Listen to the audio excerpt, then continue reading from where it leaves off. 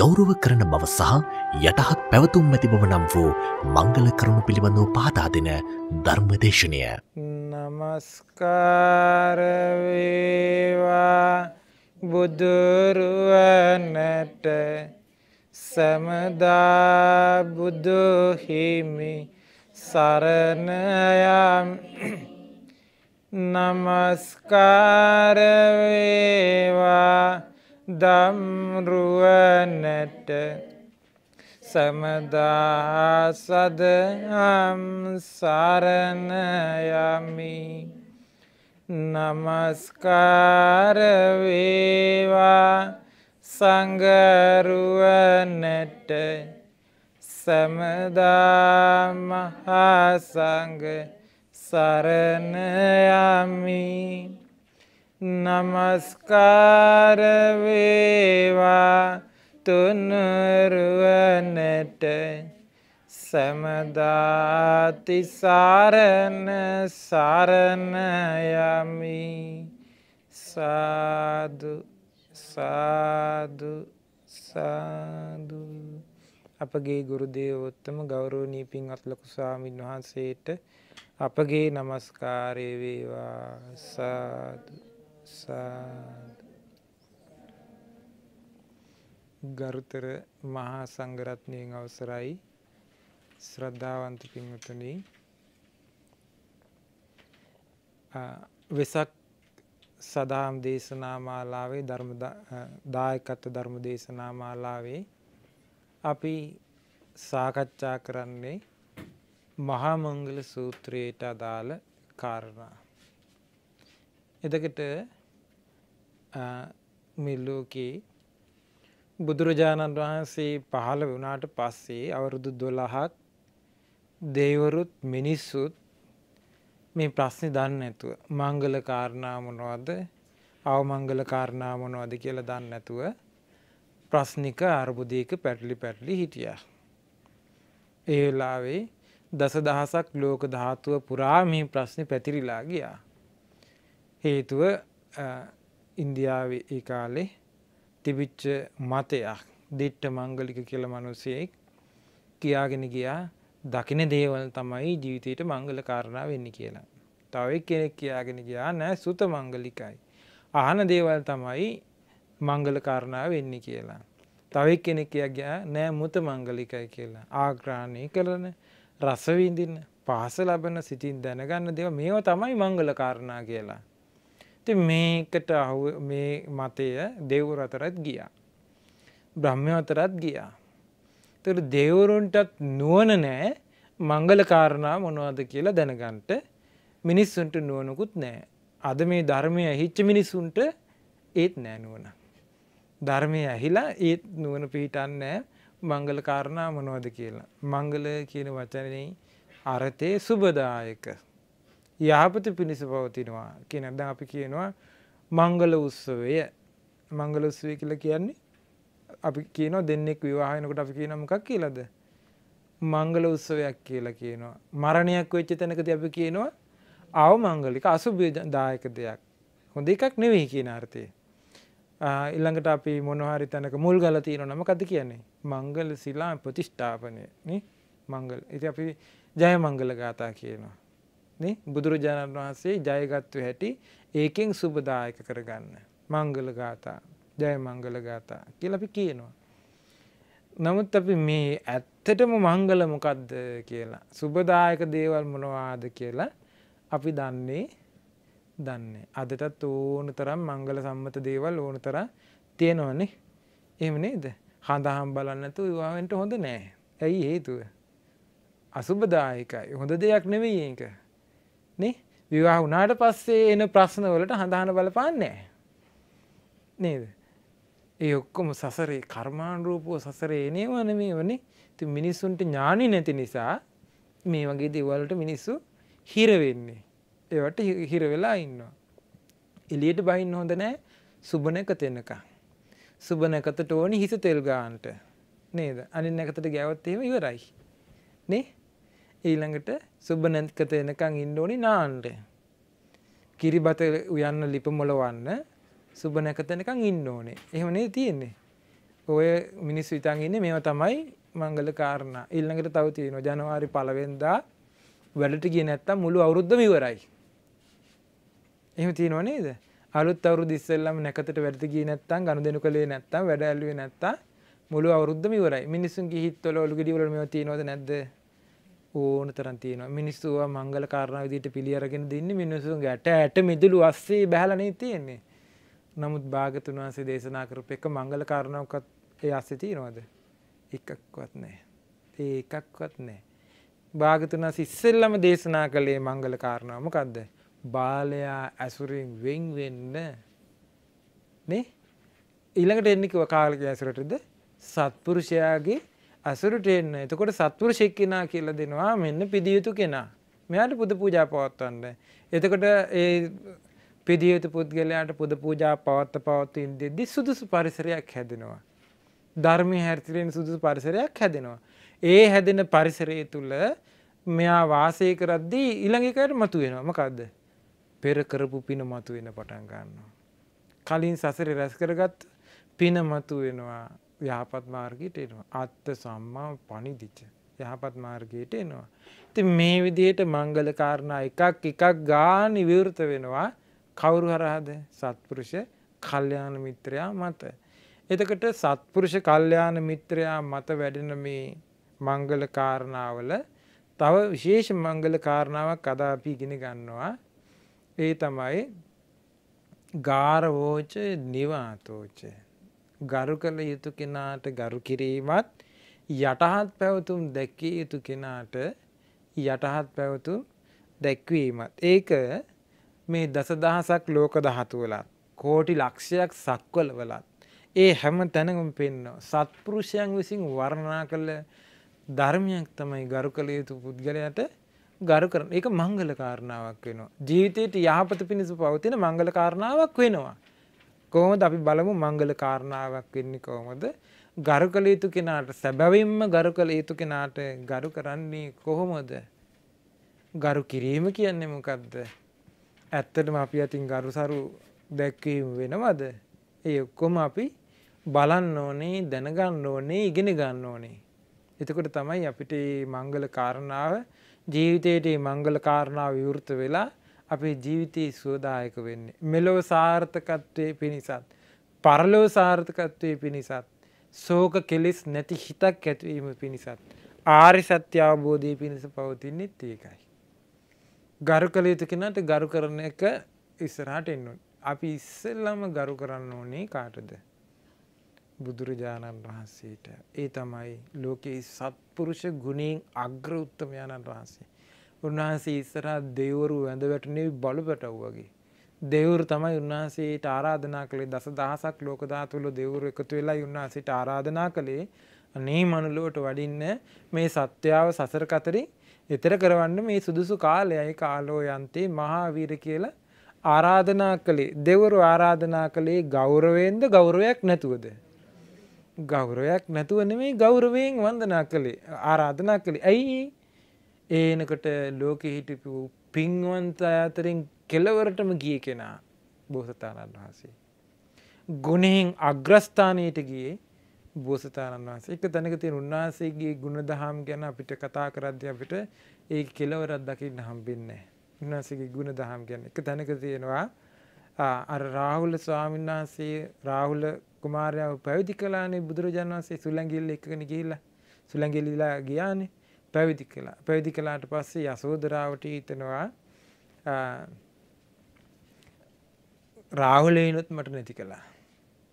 මට කියන්න නැතුව ගිහිගේ අතහැරලා ගියා. මට කිව්වනම් මාත් යනවා. මට කියන්න නැතුව හොරෙන්ම ගියා. දැන් මට එකට හිටපු එකම සැනසෙල්ල, එකම පිළිසරණ මට තිබිච්ච සැනසෙන දෙයක් තිබුණේ රාහුලයක් විතරයි. ඕන දැන් රාහුලත් පැවිදි කරගත්තා. කී කියා දොස් කී කිය හිටියා.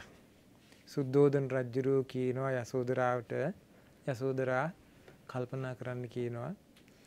බුදුරජාණන් වහන්සේ වදාලා නේද කියනවා. මේ ආපු සසර ගමනේ ඔබේ කුසින් ඔය රාහුලයම්ම බිහි කරලා ඔය රාහුලයම්ම අත්පිටුපසට ගැට ගහලා දන් දීපු ආරවල ඒ වැල්ගොඩ එකතු වෙන කියන මහමිරු පර්වතීක් මූල.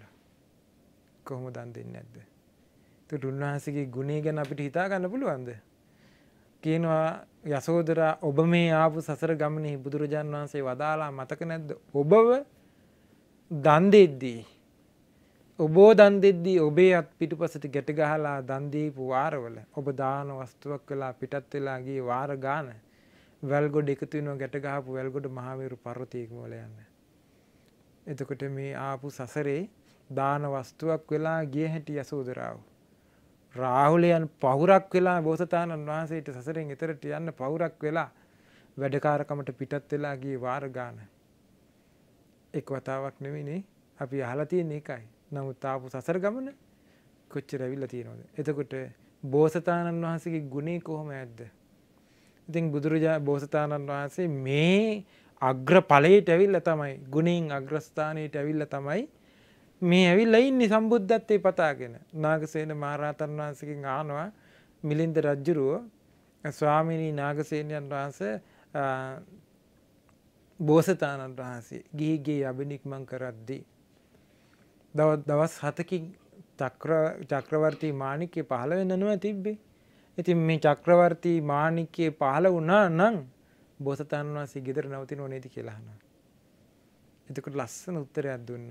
බෝසතාණන් වහන්සේ සක්විති මනික නෙවෙයි මොන්න මැනික පහළ වුණත් සක්කිත මැනිකන ඕන මොන මොකක් පහළ වුණත් බෝසතාණන් වහන්සේ යන ගමන නවත්තන්න කිසි දෙවියෙක් නෑ කිසි බ්‍රහ්මයෙක් නෑ කිසි මාරයෙක් නෑ කිසි දෙවියකුට මාරයකුට බෑ. මාරයා පෙනී හිටිය බුදුරජාණන් බෝසතන් වසේ ඉස්සර. පාල වෙල්ලා කියා හිටිය කියනවා ඔබට තව දවස් හතකි සක්විති මැනික පහල වෙනවා ඒ නිසා ගේගේ අතඇරල යන්න පහොම නවතින්නේ කියලා. එතකොට බෝසතාණන් වහන්සේගේ කනට ගිනියන් වෙච්ච ලාකට උුණු කරලා වක්කරනවාගේ පීඩාවක් ආව කියනවා. ඒ පීඩාවත් එක්ක තමයි කියනවා බෝසතන් වහන්සේ අතහැරලා ඒක හරියට මේ වගේ කියනවා රජතුමනි තෙත බරිත වෙච්ච තන පිටියකට අලුතින් තවත් වැස්ස වහිදි තව තවත් තව තවත් තෙත බරිත වෙලා යන්නේ යම්සේද ඒ වගේ කාමේ ගැන කලකිරීමට පත්වෙච්ච අප මහා බෝසතාණන් වහන්සේට අර කාම සම්පත් ලැබෙනවා කියලා වචනය ඇහිච්ච ගමන් සක්විති මැනික පහළ වෙනවා කියන වචනය ඇහිච්ච ගමන් අධීක පීඩනයක් ආව කියනවා. අධික පීඩනයක් ආව කියනවා මේ ආපව් කම්සැපට හිරවෙන්න යන්න කියලා. ඒ පීඩනයත් එක්ක තමයි කියනවා අතහැරලගී. එතුට අපිට සක්විති මැනිකක් පාලනක මොක දීතෙන්නේ අපිට. අපිට කොච්චර දෙයක්ද නේද. අපිට ලක්ෂ්මී කාන්තාව පහළ වුණා වගේ ශ්‍රියා කාන්තාව පහළ වුණා වගේ මේ මහා සැප සම්පත් ඔක්කොම හම්බෙනවනේ මේ මැනික පාලුනට පස්සේ අපි සක්විති රජනය කියලා මා උද්ධාමිකට එන්න ඇද අපි බෝසතාණන් වහන්සේ බලන්න වෙනස මොකක්ද කියලම අපි ගරු කරන්න නැතුව පුළුවන්ද බෝසතාණන් වහන්සේට. බෝසතාණන් වහන්සේ මේ බුදුරජාන් වහන්සේ නෙමේ බුදුවෙන්ට කලින් මේ අතහැරිය කියන එසැනි හරියට තව උපමාවක් කියනවා. රජතුමනී හිමාල පර්වතරාජයාට වහින වැස්ස අනෝතත්ව විල පිරිලා උතුරලා යන වතුර ඇවිල්ලා ගංගානන් ගඟට එකතු වෙනවා. ගංගානන් ගඟේ මහා සමුද්‍රයට යන. මහා සමුද්‍රයට ආපු වතුර පාතාල මුකීට වැටෙනවා. ඒ පාතාල මුකයට වැටිච්ච වතුර ජලකඳ ආපෝ මහා සාගරයට එකතු වන්නේය. මහා සාගරයෙන් ගංගානං ගඟ හරහා ආපව් පැමිණ අනෝතත්වවිල පිරෙන්නේ කියන කාරණාව සිදුවෙන්න පුළුවන්ද කියලාහනවා. සිදුවේදි කියලාහනෝ එක. ඒක සිදුවනත් බෝසතාණන් වහන්සේ ආපව් ගී ගෙදරට හැරෙනවා කෙනෙක වෙන්නෑ කියනවා. ඒක කවදාවත් වෙන්නෑ කියනවා. අහසේ හිරු ඉරු සඳු දෙක කඩාගෙන පොලෝට කඩාගෙන වැටිලා පාත්තු නත් මේකට ඇදගෙන වැටුණත් බෝසතාණන් වහන්සේ ආපව් හැරෙනවා කෙනෙක වෙන්නෑ කියනවා. ඊළඟට කියනවා රජතුමනි මේ ගස් ගල් මහා වනාන්තර පිරිච්ච මේ පෘතුවිය උඩ යටිකුරු වෙලා අනි පැත්තට කැරකුණත් බෝසතාණන් වහන්සේ ආපව් ගිහි දෙට හැරෙනවා කෙනෙක වෙන්නෑ කියනවා. ඒක වෙන්න බෑ කියනවා. බෝසතා ඒකට හේතුව. බෝසතාණන් වහන්සේගේ සිත තුළ අනිත්‍යයි කියන කාරණාව ප්‍රකටව කිඳා බැස්ස කියනවා. දුකයි කියන කාරණාව ප්‍රකටම කිඳා බැස්ස කියනවා. අනාත්මහි තමාගේ වසගේ පවත්වන්න බෑ කියන කාරණාව ප්‍රකටවම කිඳා බැස්ස කියනවා. මේකට හොඳට බැසගත්ත ඒ තුළ හිත බැසගත්ත බෝසතාණන් වහන්සේගේ හිත නෙක්කම්මය තුළම පිහිටිය කියනවා.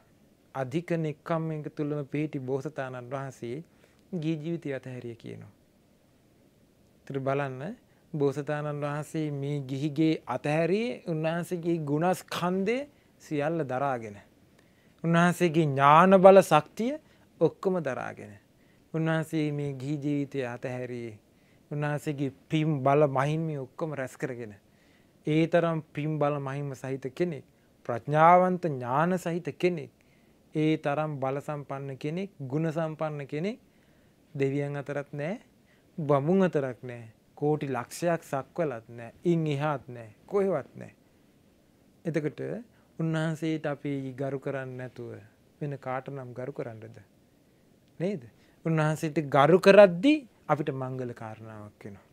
ඇයි ඒ තුළින් අපිට රැස්වන පින අපි සුගති රැකවරණයක් හදනවා. බලන්න ආනන්ද ස්වාමීන් වහන්සේට ආනන්ද ස්වාමීන් වහන්සේ දා දෙවරං වීර වැඩ හිටිය බුදුරජාණන් වහන්සේ බුදුරජාණන් වහන්සේ වදාලා භික්ෂු සංඝයක් ඇඳවල මානි අභිභූ කියලා භික්ෂුවක් හිටියා සිකී බුදුරජාණන් වහන්සේගේ කාලේ. එතකොට ඒ කාලේ අභිභූ භික්ෂුවට පුළුවන් වුණා දසදහසක් ලෝක ධාතුට එන්න කතා කරන්න. ආනන්ද ස්වාමීන් වහන්සේ මේක මතක තියාගෙන හිටියා. පහුව දුදී පින්ඩපාත වැඩලා ඇවිල්ලා භාගතුන් වහන්සේගෙන් අහන භාගතුන් වහන්සේ ඊයේ මම මේ කතාවක් ඇහුවා. අපේ භාගතුන් වහන්සේට කොච්චර පුළුවන්ද කියලා. අපමීයයි ආනන්ද තථාගතේන අපමීයයි කිව්වා. ආනන්ද ප්‍රමාණ නැහැ. අප්‍රමාණයි කිව එතකට ආනන්දයන් වසේ ආයහන අන්නේ භාගතුන් වහස කියන්න භාගතුන් වහස අපිට හිත පහදගන භාගතන අතට කොච්චර පුළුවන්ද කිය. තිසහස්සී මහා සහස්සී ලෝක ධාතුව දක්වා විස්සර කලා බුදුරජාන් වසේ ඉන් එහාටත් පුළුවන් කිව්වා. ආනන්ද ඉස්සෙල්ලම ආලෝකය වනවා කිව්වා. මාමේරු පර්වතය පහන්තිරයක් කරලා. සතරමහා සාගරය තෙල් කරලා. චක්‍රාවාටයක් පහනක් කරලා. යම් කෙනෙක් මහමිරු පර්වතය නැමති පාංවැටි දැල්ලුවොත් ඒ ආලෝකයේ විහිදෙන්න්න මේ සක්වල ගලදක්වා විතරයි කිය නතරින් හට විහිදෙන්නේ කියන ආලෝකේ වීතක්වත් යන්නේ කියනවා.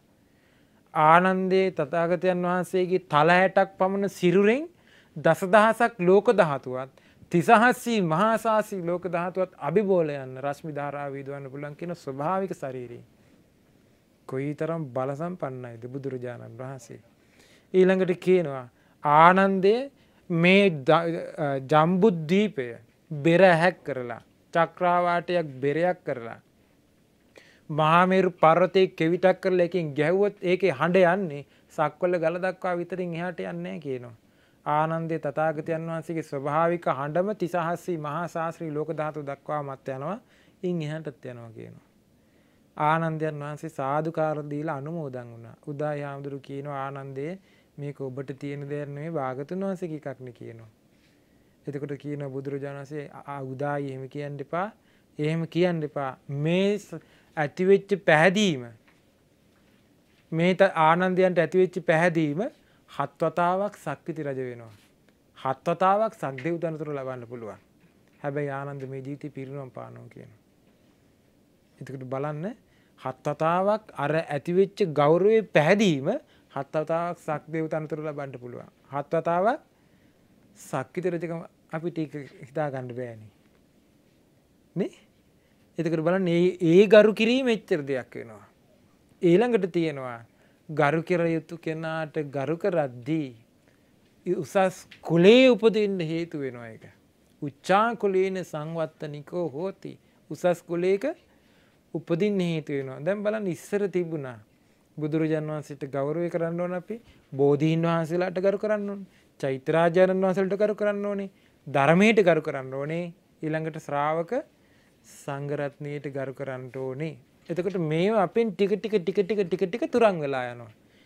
නේද? මේ ටික ටික තුරන් වෙලා යද්දී අපි දන්නේමනේ අපි මංගල කරණව ගිරිහිලා ගිහිල්ලා. ඉස්සර බලන්න අපි පන්සලක ස්වාමීන් වහන්සේ නමක් දැක්කාම අපිට ඉබේ නැගිට්ටෙනවා. දැන් නැගිට්ටින්නේ ඉස්සර බෝධීන් වහන්සේ නමත් දැක්කාම නැගිට්ටෙනවා. චෛත්‍යරාජන් වහන්සේ නමත් දැක්කම වාහනික ගිය නැගිට්ටෙනවා. දැන්නේන නේද? ඉස්සර තර ඉස්සර අපිට එච්චර දහම් දෙනමත් තිබ්බි නෑ. නමුත් දැන් දහම් දැනම තියෙනවා. ගුණේ නෑ. එන්න ඇර මංගල කාරණාව වෙන්නේ ගෞරවේ එන්නේ බලන්න කොයි තරම් වෙනසක් අපිට වෙලා තියෙනවද? ගුණයෙන් තමයි අපි ටික ටිකට හීන වෙලා යන්නේ. සාරිපුත්ත මහරහතන් වහන්සේ හැම විටම අසජී මහරහතන් වහන්සේ ඉන්න දිසාව බලලා වන්දනා කරනවා. මට පළවෙනි දහම් පදේ ඇහුනේ මේ අසජී මහරහතන් වහන්සකින් කියලා. හැම දෑම වන්දනා කළා. ඒ ගරු කළ යුතු කෙනාට ගරු කිරීමයි. ඊළඟට බලන්න කොණ්ඩංජ මහරහතන් වහන්සේ කල්පනා කළා අග්‍රශ්‍රාවක වෙලා ඉන්නේ සාරිපුත්ත මොග්ගල්ලාන මහරහතන් වහන්සේලා දෙනම. නමුත් මා තමයි ඉස්සෙල්ලම පැවිදි වෙච්ච චිරරාත්තඥ. වැඩීම වස්කාලයක් තියෙන්නේ මටයි. මම තමයි පැවිද්දෙන් වැඩිමල්ම කෙනා. නමුත් භික්ෂ සංඝයා අතර සිටිය යුතු දෙන්න මේ දෙන්න. ඒ නිසා මම මගහැරලා යනවා කියලා ගරු කිරීමක් විදියට චද්දන්ත විරළඟට ගිහිල්ලා හිමාලේ එතන තමයි කාලේ ගත කළේ පිරිනුවම් පානකම්මයි. බලන්න කොයිතරම් ගරු කිරීම එතකොට වැඩිමල්ම කෙනා මෙහෙම ගරු කරද්දී ශාසනයේ ගෞරුවත් එක්ක තමයි තිබ්බේ. ඉස්සර මුල් කාලේ රාතන් වහන්සේලගේ පරම්පරාවෙන් ආපු කාලේ මේ විදියට බණ කියන එකක් තිබ්බේ නැහැ. නේද? තිබ්බේ නැහනේ. ඒ කාලේ තිබ්බේ පැවිදි වෙන්න ගියාට පස්සේ ආචාර්යයන් වහන්සේට හොඳට උපස්ථාන කරන්න ඕනේ. වත් පිළිවෙත් කරන්න ඕනේ. එතකොට වත් පිළිවෙත් කරද්දී ගරු බුහුමන් දක්ව දක්ව වත් පිළිවෙත් කරද්දී උපාධ්‍යයන් වහන්සේට ආචාර්යයන් වහන්සේට වන්දනාමාන කර උපස්ථාන කර කර ඉන්නකොට වැඳගෙන ගිහිල්ලා අහන්න ඕනි ස්වාමිනී අහවල් දාම් කරුණු ගැන මට මෙහෙම එකක් තියෙනවා මට කියලා දෙන්න මේක. එහෙම තමයි බණ කිව්වේ. ආදි තමයි කිව්වේ. ධර්ම ගෞරවය තියෙන්න ඕනේ. එතකොට ගුරුවරය කෙරේ ගෞරවය තියෙන්න ඕනේ. ආචාර්යයන් වහන්සේ උපාධ්‍යයන් වහන්සේ ගැන ගෞරවය තියෙන්න ඕනේ. ඒකත් එක්ක තමයි ඔහුට දහම්මග වැඩෙන්නේ. නැත්තම් දහම්මග වැඩෙන්නේ. ගරු කළ යුතු කෙනාට ගරු කිරීම කියන්නේ මේකයි. නේද? ඊළඟට ඒ ගෞරවයෙන් ඕනේ දැන්නම් එහෙම නෑ දැන් අපි බණ ස්වාමින්වහන්සේලා බණ කියන්නත් අපි කියන්න. හැමතැනම ධර්මය ගිහිල්ලා තියෙනවා. මේ දැන් තියෙන්නේ දහම් දැනුමක් තියෙනවා. ගුණයක් නෑ. ඒ නිසා කිසි කෙනෙකුට අවබෝධයකට යන්න බෑ. රැවටීමකට විතරක් පත් වෙන මිනිස්සු මේ අවබෝධ. ඇයි තේරුණා වගේ පේනවා දහම් කරුණු ටික තියෙනකොට. මංගල කාරණා විවෘත වෙලා නැහැ. මංගල කාරණා විවෘත වුණා නම් මෙයා ගුණේට ගිහිල්ලා අවබෝධයට එනවා. ඒ වුණොත් කෙලෙස් දුරු වෙලා යනවා. ආශ්‍රෝෂය වෙලා යනවා. දුගතියෙන් බේරෙනවා. සුගති රැකවරණේ හැදෙනවා. නේ? දැන් ඒව මුකුත් නැහැ. ගරු කළ යුතු කෙනාට ගරු කිරීම ඒ මුකුත් වෙන්නේ නේද? බෝධීන් වහන්සේට ගරු කරන්නේ නැහැ. ගිහිල්ලා ගැට ගන්නවා පඳුර. නේ? අරහං බුදුගුණෙන් මගේ හිරුගේ අපල දුර වේවා කියලා ගිහිල්ලා බෝධි පූජා තියෙනවා. අපල දුරු කර ගන්නට. එතකොට ගරු ගෞරවය ඇවිල්ලාද? මිත්‍යා දෘෂ්ටිය ගිහිල්ලා කියනවා. ගෞරවය ඇවිල්ලාද දැන් තියෙන්නේ? බාරහාර වෙනවා. පඳුරු ගැට ගන්නවා. නේ? ඒක තමයි. ආන් එතකොට ගෞරවේ නැති වෙලා ගියාට පස්සේ මේ ඔක්කොම කෙලෙස් සහිතයි. ගෞරවේ නෑ. එතකොට මංගල කාරණාවක් විවෘත වෙන්නේ නෑ. ගෞරව දැන් දෙමව්පියන්ට ගරු කරන්න දරුව දන්නේ. දෙමව්පිය කියල දීලත් නෑ. ඊළඟට ගුරුවරුන්ට ගෞරව දක්වන්න දරුව දන්නේ. ගුරුවර යාලු එක් වගේ දැයි. නේද. ඊළඟට දරුවෝ ඉස්සරහා ගෞරවාන්විතව හැසිරෙන්න අම්ම තාත්ත දන්නේ. ගුරුවරයා දන්නේ දරුවෝ ඉස්සරහා ගෞරවාන්විතව හැසිරෙන්න ඕනි කොහොමද කියලා. එතකොට ඒ තුළින් ඇතිවෙන අර්බුද ප්‍රශ්න කරදර කම් කටලු එද්දී මිනිස්සු ග්‍රහ පූජාවක් තියතිී යනවා. දේවල් පස දුවනවා. බාරහර වෙනවා. ප්‍රශ්න විස දෙනවද විසඳ දෙන්නේ. ඒක විසඳ දෙන්න නම් අර ගැටලු විසඳ ගන්න ඕනේ. ගරු කළ යුතු තැනට ගරු කිරීම ඉස්සල්ලයින්ට ඕනේ. ඒ ආවට පසි තමයි විසඳිලා යන්නේ. අපිට ඒක තේරුම් කර ගන්නවත් නුවනක් නෑ. දෙමවපියෝ ඉස්සරහා හැසිරෙන් අපි කියනවා දැන් හරි බුද්ධිමත් ළමයි හරි ඥානවන්තයි ඉක්මනට තේරුම් ගන්නවා කියලා කරුණු. මොන කරුණු තේරුම් ගැනිල්ලක්ද අම්මා තාත්තා ඉස්සරහා හැසිරෙන්න ඕන විදිය දරුවෝ දන්නේ නැහැ නේද? ගරු කරන්න ඕන විදියක් දන්නේ නැහැ නේද? ඒ තුලින් ඇතිවෙන අර්බුද ගැන ගරු නොකිරීමෙන් ඇතිවෙන අර්බුද ගැන දරුවෝ දන්නේ නැහැ නේද? දන්නේ නැහැ. දරුවන්ට තේරුම් ගන්න බෑ. ඊළඟට දේශනාවේ තියෙන්නේ ස්වාමියාට ගරු කරද්දී බිරිඳ සුගතිය උපදිනවා. සුගතිය උපදින්න කාරණාවක් බිරිඳට බිරිඳක් වෙලා සුගතිය යන්න නේද මොකක්ද කරන්න තියෙන්නේ ස්වාමයාට ගරුබූමන් දක්වන්න ඕනේ. ස්වාමයාගේ සේවකයන්ට කරු බොහොමන් දක්වන්න ඕනේ. ස්වාමයාගේ දෙමවපියන්ට කරු බොහොමන් දක්වන්න ඕනේ. දැසිදස් කම්කරුවන්ට අද සියලු දෙනාට ගරබූමන් දක්වන්න ඕනේ. එහෙමුණොත් තමයි ආන්න මංගල කාරණාවක් වෙන්නේ. නැත්තං නැන්දම්මගේ ඉල්ලේලිගේ ප්‍රශ්න හටගන්නවද නැද්ද? ඔන්න අව මංගල කාරණ. නැකැත් කේන්දර බලලා විවාහ වෙනවා. ඊට පස්සේ ගරු කළ යුතු කෙනාට ගරු කරන්න දන්නේ නේද? ඒක දේශනාවේ තියෙන්නේ අලුතගෙන මනමාලි නේද? වාලෙත් එක්ක ගොම ගානෝ කියන අලුත් කාලේ. පහුවෙනකොට අහනවා නැන්දම්මගෙන් අහනවා ලේලි උඹල මොනවද දන්නේ? අපි නොව දන්නේ? මක්කයි දන්නේ කියලානවා නේද? දන්නේ. නේ? එතකොට බලන්න මේ ගරු කළ යුතු කෙනාට ගරු නොකිරීම නිසා ඇති වෙන අරුබුද? හැම තැන මරබුද දැන් ඔන්න නැන්දම්මගේ ලේලිගේ ප්‍රශ්නයනකොට මතක් වෙන්න මොකක්ද නේද? සෙනසුරාලා බල වෙන්න ඇති ග්‍රහ පූජාවක් කරන්න ඕනේ. නේ එද එම නිතෙන් ඒක මතු වෙලා දැඟුණු ග්‍රහ පූජතී තියෙන බාරහාරය යන විසඳෙන්නෑ ප්‍රශ්නය අර්බුදේ විස දෙන්නෑ ගරු කරන එකට මුල් තැන දීමෙන්මයි මේක විසඳෙන්නේ ඒවනම් ඒ ඒවුම්ම උනොත් තමයි මංගල කාරණාවක් වෙන්නේ මෙලොව සාර්ථකයි ඊට පස්සේ. පරලොව සාර්ථකයි. සුගතියට පාර හැදෙනවා. සුගතියට පාලම. සුගති රැකවරණයක් හැදෙනවා. පින රැස් වෙනවා. කර්මාන් රූප සකස් වෙච්ච සසරේ සුගතියට යන්න තියෙන අවස්ථාව තමයි ගරු කළ යුතු කෙනාට ගරු කිරීම. බුදුරජාණන් වහන්සේත් ගරු කළා නේද? කාටද? ධර්මයට ගරු කළා බෝරජාණන් වහන්සේට ගරු කළා. දවස් හතක් දෑස් නොසොල්වා බලාගෙන සිටියා. දෑස් නොසොල්වා බලාගෙන සිටිය බෝරජාණන් වහන්සේ දෙස අනිමිස ලෝචන පූජාවෙන් පූජෝ පාර දැක්වද නැද්ද බෝධීන් වහසට. එතකොට බුදුරජාණන් වහන්සේගේ පූජෝපහාර ලබපු බෝරජාණන් වහන්සේව අපිට පාරවල් හදාගන්න කපන්න කිසි ගානන්න නැනි දබ දැන් අපිට. අපිට පාරහදාගන්න ඕනි. පාර මේ වාහනොල් අතුවදිනවා මේ අයින් කළ දාන්න ඕනි කියලා. අයින් කළ දාන්න කිසිීම එකක් නැනේද ඕන් දැක්කද පිරිහීම? පිරීච්ච යුගේ අපි ඉන්න හැටි පේ නොනි දැයි බුදුරජාණන් වහන්සේත් ගරු බූමංකලව බෝරජාණන් වහන්සේ ඔය මට්ටමට අද පත්වෙලා මිනිස්සුන්ගේ පිරීම ඒ මට්ටමයි ඉති මිනිස්සු කවදානම් මේකින් බේරෙන්නද දෙවරු බෝරජාණන් වහන්සේලා ආරක්ෂා කරගෙන ඉන්නවා බ්‍රහ්මරාජයොත් බෝරජාණන් වහන්සේ ආරක්ෂා කරන පුද සත්කාර දක්ව දක්ව ඉන්නවා. චෛත්‍යරාජාණන් වහන්සේලා ආරක්ෂා කර කර චෛත්‍යරාජන් වහන්සේලාට ගර්භූමන් දක්ව දක්ව ඉන්නවා. අපිට කිසි ගාණක් නැහැ. අපි බණ අහනවා. ගෞරවයක් ඉන්නේ. ගරු කළ යුතු කෙනාට ගෞරවය එන්නේ. බෝරජාණන් වහන්සේට චෛත්‍යරාජන් වහන්සේට බුදුරජාණන් වහන්සේට ගෞරවය එන්නේ. අපි එක එක කතන්දර ඇදලා ගන්නවා.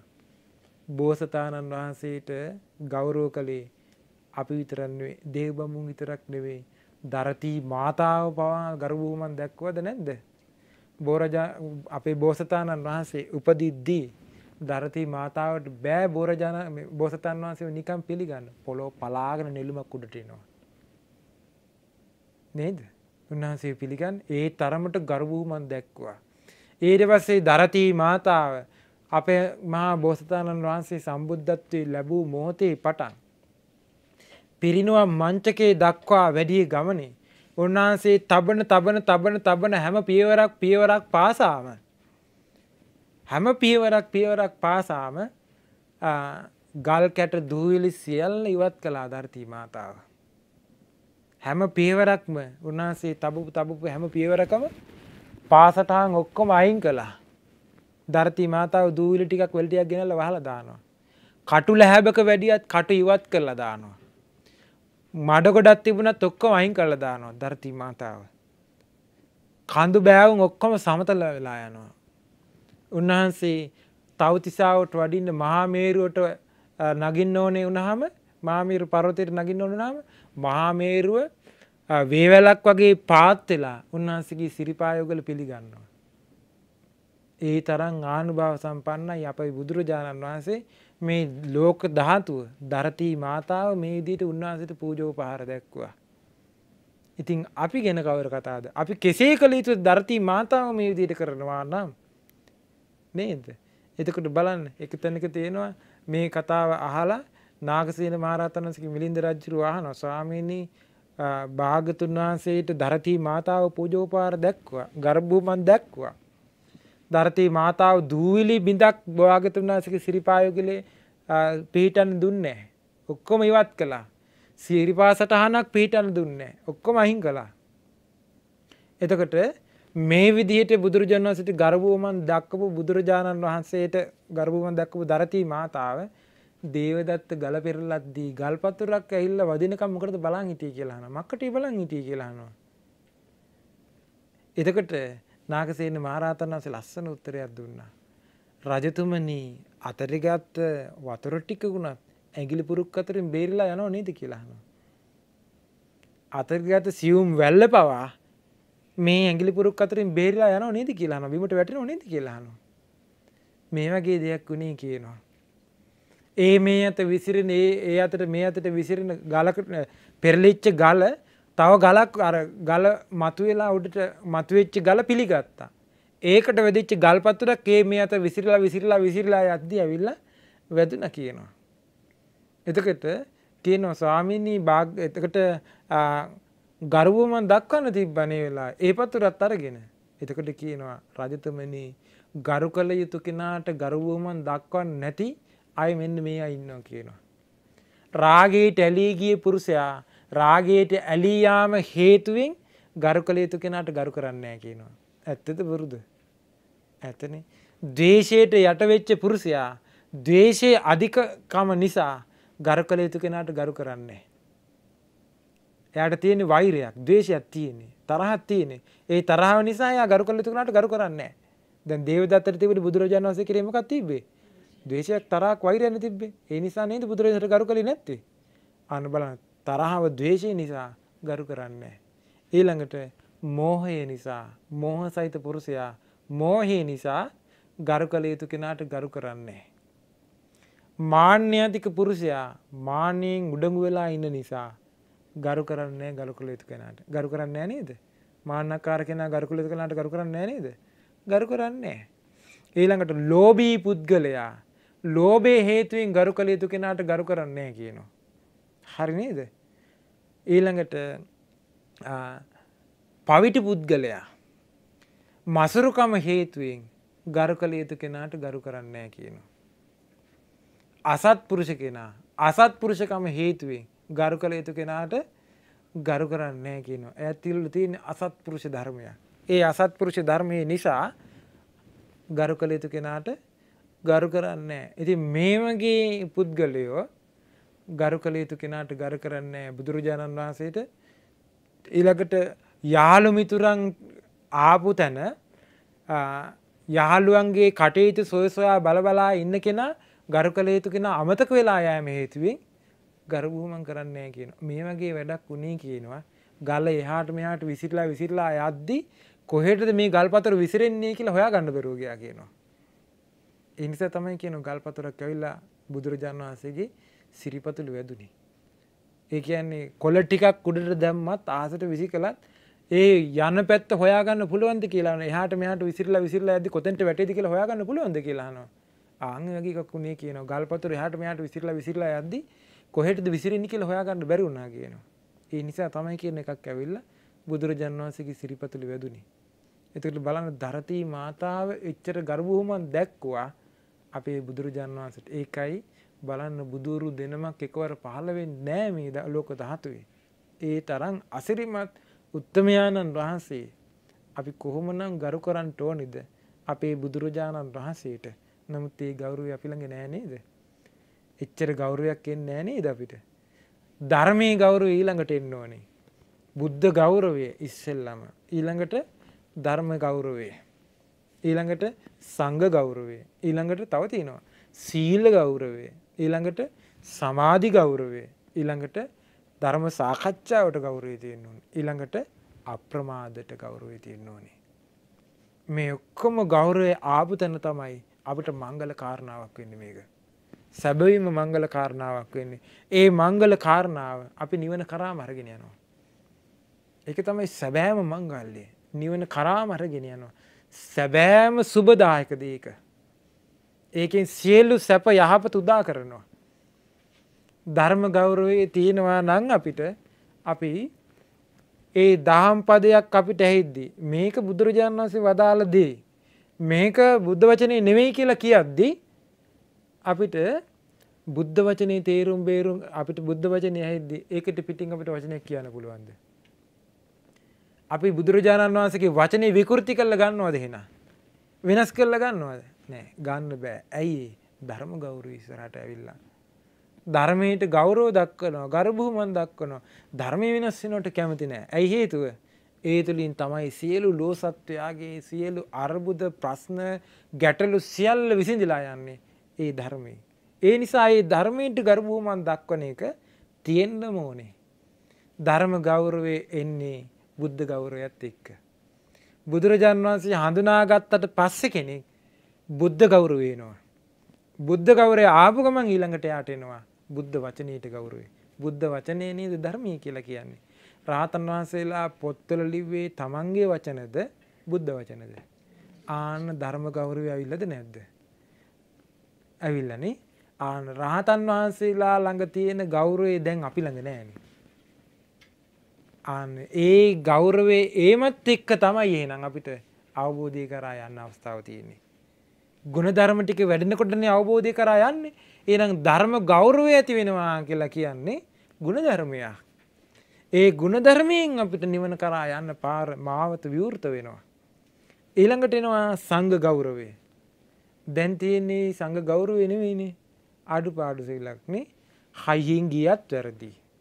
හයියෙන් කතා කළත් වැරදි. බණ ගොඩාක් කියනවන ඒත් වැරදි. බණ ටිකක් නම් කියන්නේ ඒත් වැරදි. නේද? එහෙම නේද? නිහඬව ඉන්නවන ඒත් වැරදි. පෝරාණ මේතං අතුල නේතං අජ්‍යතනාමව. මේක අදයි එක නෙවෙයි දිගින් දිගටම අතුල උපාසකට බුදුරජාණන් වහන්සේ වදාළේ කලින් ඉඳලම තිබිච්ච එකක්. නේද? චුට්ටක් කිව්වත් බයිනවා. ගොඩක් කිව්වත් බයිනවා. කියන්න නැති හිටියන නිශ්ශබ්ද හිටියාම ඒත් බනිනවා. නේද? මේකේ බැනිල්ලේ ඉවරයක් වෙන්නේ. කොහොමත් බයිනවා. ඇයි හේතුව ගෞරුවයනන ගුණී දකින්න ඕනි. ගුණයක් පේන්නේ සත්පුරුෂ කෙනෙකුටද අසත්පුරුෂ කෙනෙකුටද. සත්පුරුෂ කෙනෙකුට මේ ඔක්කොම සත්පුරුෂ ධර්මයක් තියෙන්නේ. සත්පුරුෂ අපි හැම කෙනාට මෙකිනෙකාට එකනිකාට ගර්වමන් දක්ව ගණ්ඩෝනේ ඇයි හේතු හැම කෙනෙක් ළඟම ගුණයක් තියෙනවා. හැම කෙනෙක් ළඟම ගුණයක් තියෙනවා. එකිනෙකාට ගරුබුමන් දක්ක ගන්න ඕනේ. සත්පුරුෂයෙක් වෙන්නේ එහෙමයි. කළගුණ දන්නා බවක් වේද. කළගුණ සිහි කිරීමක් වේද. මේ සත්පුරුෂ භූමියයි. කළගුණ දන්න කෙනා නේද මට මේ උපකාරයක් කළා. ඒ නිසා මම මේ කළපු උපකාරයට මං ගරුබුමන් දක්වන්න ඕනේ කියලා එන්න ඉස්සරහට. මට මෙහෙම දෙයක් කළා මං එයාට ගෞරව දක්වන්න ඕනේ. එනෝනේ ඉස්සරහට. ඒ ගෞරව වෙනවා. එහෙම ගෞරවයක් ආවේ නැත්තම් එයාගේ ජීවිතය ඉවරයි. නේද අර තිලමුට්ටි ජාතකයේ තියෙන්නේ බෝසතාණන් වහන්සේ ගුරුවරය වෙලා ඉන්නවා. බර්ණස් රජ්ජුරුවන්ගේ පුතා කුමාරයා සිල්පාදාරන්න බෝසතාණන් වහන්සේ ළඟට එනවා. එතකොට බෝසතාණන් වහන්සේ මෙයා එක්කරගෙන යද්දි නාන්න එක්කරගෙන යනවා. නාන තැනට එක්කරගෙන යද්දි ආච්චි තල වේලනවා. පළමිටක් අරගෙන හොරින් කෑවා. ඒ වෙලාවේ බෝසතාණන් වහන්සේ පාරක් දුන්නා. පාරක් ගැහුව දරුවට අකුමාරයට පාරක් ගැහුවා මේ මේ හදාගන්න මේක හිතේ තියාගෙන හිටිය. මට ගැහ්වා මේ විදිහට ගැහ්වා කියලා හිතේ තියාගෙන හිටිය. ඊට පස්සේ බෝසතාණන් වහන්සේ සිල් පාදාරල ඉවරලා බොස්තන් වහසට මෙයා කියනවා මේ මම රජවිච්චි කාලට එන්නිකව මාලිගාව පැත්තේ මං සියලු සැප සම්පත් දෙන්නම් කියලා බොරුට කිව්වේ. ඊට පස්සේ කුමාරය ගියා රජකම හම්බුණා රජකම හම්බලා පිරජ්ජුරුව කල්රි කලට පස රජකම හම්බුණ බෝසතන් වහන්සට හිතුනා දැනගෙන හිටිය මේ අසත්පුරුෂ කෙනෙක් කියලා. ඊට පස්සේ බෝසතන් වහන්සේ ගියා බලන්න. ඉන්නද කියල බලන්න. ගිය ගමන් මේ මුරකාරයට කියන මේ අල්ලගෙන එන්න කියනවා. මට එදා ගැහ්වා. හොඳට මට රිදුනා දැන් තේරුම් ගන්නක කාර්ද ගැහ්ව කියලා. මේ රජ කුමාරයට මේ ගැහ්වේ. එදා බෝසතන් වසි ගාථාවක් කියනවා. එදා මම පාර නොදුන්න නම් අද ඔබ මෙතන නෑ කියනවා. එදා මං එක කියල දුන්නා. ඔබට මේ වැරද්ද කරන්න එපා කියලා. අද ඔබ හොඳට ධාර්මික රජ කෙනෙක් කියනවා. පැහැදුනා පුරෝහිත තනතුරේ තිබ බෝසතාණන් වහන්සේ. බලන්න. එතකොට ගුණේ ආවට පස්සේ දියුණු වෙනවා. දැම් බෝසතන් වසක උපදෙස් හම්බෙනවා පුරෝහිත වෙලා. කොච්චර ලස්සනද. මේ ගර්භූමන් දක්වන එකත් එක්කෙන හැටි. ගෝලයා ගුරුවරයට ගර්භූමන් දක්වනවන. ගුරුවරයට හිතෙනවා ගෝලයට කියා දෙන්න දහම් කරනු කියා දෙන්න හිතෙනවා. අධ්‍යාපනය හදාරණ ශිෂ්‍යයා ගුරුවරයට ගණපුමන් දක්වනවන ගුරයට ඉතිනවා මෙයාට ඉගැන්වට පාඩුවක් වෙන්නේ. මෙයා හරි හොඳ ගුණවන්ත කෙනෙක්. මෙයා ගර්භූමන් ඇතුව මේ ඉගෙන ගන්නේ. මේ ගර්භූමන් ඇතුව ඉගෙන ගන්න නිසා මෙයාට හොඳට උගන්නන්න ඕනේ කියලා. උගන්නද්දී උගන්නද්දී දරුවට හොඳට මතකිටිනවා. හොඳට ඉගෙන ගන්න අවස්ථාව තිනවා. ඇයි ගුරුවරය නොඒ කුපාය මාර්ග ගන්නවා දරුවට උගන්නන්න. ඇයි හේතුව. දරුවා ඉගෙන ගන්නවාට ගුරුවරයක් කැමති. මේ වගේ දරුවෙක් ඉගෙන ගත්තට කමන්නෑ කියලා. නොඒ කුපාමාර්ග යොදෝදා ගුරුවරයාගේ උත්සාහයම දරුව ඉගෙන ගන්නවා. සාර්ථක නැද්ද. එනම් ගෞරව එනවා කියන එක කොයි තරම් සාර්ථකක්ත කර අරාගෙන අරගෙන යන්නවද අපිව. දෙමව්පියන්ට දරුවෝ ගරුබොහොමන් දක්වනවනම්. දෙමව්පිය කොච්චර දරුවා කෙරෙහි සෙත් පතනවාද ඒ සෙත් පැතීම පවා ආශිර්වාදයන් නෙමෙයිද. නේද. ඒ සෙත් පැතීම ආශිර්වාද ඒකම මංගල කාරණාවක්. ඒමනම් මේ ගර්වූමන් දක්වනවා කියන එක මංගල කාරණාවක් වෙන්න මේ විදිහට. මේ ඉතරක් නෙවෙයි ගර්භහුමන් දක්වද්දි දැන් භික්ෂුවක් වඩිනවා පින්ඩ පාතිකෙදෙට්ට එතකට මොකද වෙන්නේ. හිත පහදගන්නවා දැකීමේ. දැකීමෙන් හිත පහදවා ගත්දී එයාට සුගතිය උපදින්න අවස්ථාව හම්බෙනවා. හිත පැහැදීමෙන්ම. ඒට පස්සේ ගරුබුහුමන් දක්වල වන්දනා කරනවා. ඒකමකත් හේතු වෙන්නේ. උච්චාංකොලීන සංවත්තනිකෝ හෝති. උසස් කොලේක උපදින්න හේතු වෙනවා. පින රැස්කරගන්න මේ දේට ගරබුහුමන් දක්වද්දි උසස් කොලේක උපදින්න ඒක හේතු වෙනවා තර බුදුරජන් වන්සට ගරබූමන් දක්වද්දි කොහොම ඇද්ද. ධර්මයට ගරබූමන් දක්වද්දී කොහොම ඇද්ද. ශ්‍රාවක සංගරත්නයට ගරබූමන් දක්වද්දි මේ දීපාකයක්. උසස් කුලේ උපදින්න හේතු වෙනවා. නේ එතකොට දෙමවපියන්ට කරු බොහොමන් දක්වද්දි ඒකත් උසස් කුලේ උපදින්න හේතු වෙනවා. ගුරුවරුන්ට ගරුබොහමන් දක්වද්දි ඒකත් උසස් කොලික උපදිට හේතු වෙනවා. ඉහල පවුල් පැලන්තියක උපදින්න හේතු වෙනවා. එම නම් මේ හැම දෙයක්ම ගරබොහොමන් දක්වනවා කියන හැම දෙයක්ම අපිට හැම තැනකදිම යාපත පිණිස සැපත පිණිස පවතින දෙයක් නැත්තා මිනිසුන්ට ඒ ගරබූමන් එන්නේ. චෛතරාජාණන් වහන්සේ ළඟට ගිහිල්ල රුවන් වෙලිසයට ගිහිල්ල ගරු කිරීමන් නෙම ඒන්නේ යාට මොකක්ද එන්නේ පිටිපස් සාරව ගත්ත ගැව්ව සෙල්පිය. එම නෙද තියෙන්නේ. බෝරජාණන් වහන්සේ ළඟට ගියා හැරව පිටිපස්ස පස පැත් ඇරෙවා ගැව්ව සෙල්පිය. එහෙම නේද තියෙන දැන් මොන ගෞරවයක්ද දැන් එහෙම ගෞරව යන්න පිළි මහන්සේ ළඟට ගියා ගැව්ව අනි පැත්ත හැරුණ ගැව්ව සෙල්පිය. නේද. එතකොට මිනිස්සුන්ට තියෙන්න මේ ස්වභාවය ගෞරවයක් නෙමේ. සුදු ඇඳගෙන යනව පන්සලට. යන්නේ සුදු ඇඳගන්න. ඇඳුම සුදුනා කියලා එයාගේ ගෞරුවවෙන්නේ. එයාට ගෞරුවෙන්නෙත් නෑ. එයා සැබවින්ම ගෞරවානිත චරිතයක් වෙන්න ඕනේ. ඒ මුණොත් තම එයාට ගෞරුවෙන්නේ. ඒම නැත්තා එන්නෑ. ගුණදහමින් පෝෂණය වෙච්ච කෙනෙක් වෙන්න ඕනේ. ශාස්තෘන් වහන්සේ හඳුනගත්තු කෙනෙක් වෙන්න ඕනේ. බුදුරජාණන් වහන්සේ මේ ළඟ ඉන්නවා කියන හැඟීම තියෙන්න ඕනේ. නේ දැන් මේ භාගතුන් වහන්සේ මෙතන වැඩ ඉන්නවා. අපිට එනවා දදහසක් මේ භාගතුන් වහන්සේ ළඟ ඉඳලා මේ බණ අහන්න කියලා. එන්නේ නේ. අපිට අදහස එන්නේ පිළිමහන්සේ නමක් දැක්ක ගමන් එකෙන් ඕනේ. දැ අරහනෝ නාගසීල මහරහතන් වහන්සේගේ ගානෝ මිලින්ද රජ්ජුරු ස්වාමිනි රාතන් වහන්සේලාගේ ධාතුන් වහන්සේලා තැන්පත් චෛත්‍යරාජාණන් වහන්සේලාගෙන් රශ්මි ධාරා වීදෙනවා. සියලු රහතන් වහන්සේලාගේ ධාතුන් වහන්සේලා තැන්පත් චෛත්‍යරාජන් වහන්සේලාගෙන් රැස්වීදෙනවාද එහෙම නැත්තං ඇතැම් රාතන් වහන්සේලාගේ ධාතුන් වහන්සේලා තැන්පත් චෛත්‍යරාජන් වහන්සේලාගෙන් රැස්වීදෙනවාද කියලා ඇහුවා. එතකට කියනවා රජතුමනි ඇතැම් රාතන් වහන්සේලාගේ ධාතුන් වහන්සේලා තැන්පත් චෛත්‍යරාජන් වහන්සේලා තුළින් රැස්වී දෙනවා කොහොම දෙක වෙන්න කියලාහනවා. එතකට කියනවා රාතන් වහන්සේල්ලා පිරිනුවම් පාන්න කලින් අනාගතයේ මිනිස්සු කෙරෙහි අනුකම්පාවෙන් මේ ධාතුන් වහන්සේලාගෙන් රැස්වී දේවා කියලා අධිෂ්ඨාන කරලයි පිරිනුවම් පෑවි කියනවා. ආං එතකොට ඒ චෛත් ඒ ධාතුන් වහන්සේලා තැන්පත් චෛතරාජන් වහන්සේලා තුළින් රශ්මිධාරා විදන. අපේ බුදුරජාන් වන්සේම කළේ නැද්ද? කලානේ ස්වර්ණමාලි චෛතරාජන් වන්සේ ද්‍රෝණයක් ධාතුන් වහන්සේලා එන්න ඕනි කියලා උන්වහන්සේ අධිෂ්ඨාන කළේ නැද්ද? එතන සම්පූර්ණ බුද්ධ රූපේ මැවිලා යමක මහා ප්‍රාතිහාර්ය පාන්න ඕනේ කියලා අධිෂ්ඨාන කළේ නැද්ද? ඒක උනේ නැද්ද? උනානේ.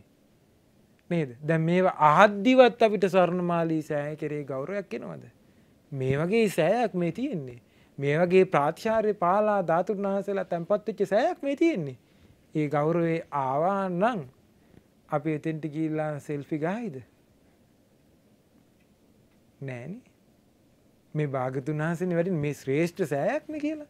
ඊළඟට කියනවා දෙවරු මිනිස්සුන්ගේ ශ්‍රද්ධාව ස්ථිර කිරීමේ අදහසින් චෛත්‍යරාජාණන් වහන්සේල්ලාගින් රැස්විහි දෝනවා කවුදෙක් කරන්න එතකොට? දෙවරු මැටි බුදු පිළිමෝලින් දෙවරු රශ්මි ධාරා වීදූනවා. දෙවරු තම මික් කරන්නේ. මිනිස්සුන්ට ශ්‍රද්ධාව උපදෝ ගන්න මේ භාගතුන් වහන්සේ කියලා හඳුන ගන්න රැස් විහිදුනාද නැද්ද. විහිදුනානේ මිනිසුන්ට ගෞරයාවද. විද්‍යාවට ගලපන්න ගිය. වරද්ද ගත්තා. මෙහෙම වෙන්න පුළුවන්ද කියලා දොස් කියන්න ගත්ත සමහරු. මෙට බුදු පිළිවෙල මේ රැස් වීදයිද කියලා. නේ හිත පහදගත්ත පිරිස සුගති රැකවරණයකට හිත හදාගත්තා. අනෙක් පිරිස දොස්කී කිය ගිය. බලන්න ගෞරුවේ ආපු නැති නිසා වෙච්චි විනාසේ තේරුම් බේරුම් කරගන්න බැරුව ගිය. නේද. ඒ නිසා බුදුරජාණන් වහන්සේ කෙරේ ගෞරුවය අනිවාරයෙන් ඕනි අපිට. ධර්මී කෙරේ ගෞරුවේ අනිවාරයෙන් ඕනි අපිට ශ්‍රාවක සංගරත්නය කෙරේ ගෞරුවයත් ඕනි ඊළඟට සීල ගෞරුවේ සීල ගෞරවය තියෙනවා නම් සීලේ බිඳෙයිද. සීලේට ගෞරව නෑ මිනිස්සුන්ගේ මිනි සත්තු මරන්න කිසි බයක් නෑ. හෝරකං කරන්න කිසි බයක් නෑ. වැරදි කාමසවනි කරන්න කිසි බයක් නෑ. බොරු කියන්න කිසි බයකුත් නෑ. මත්පැන් මදරේ පාවිච්චි කරන්න කිසි බයකුත් නෑ. එතකොට සත්තු මරල්ලා හිට හොරකං කරලා වැරදිකාමසයනට පෙළබිලා මේ සීල ගෞරවේ නැතිවීම නිසා මේවැන් අකුසල් කරලා ඒක විපාක එනකොට මොකද කරන්න මිනිස්සු? මේක අනිපතරි ඔන්න හිරේ විලංගු වැටිනවා.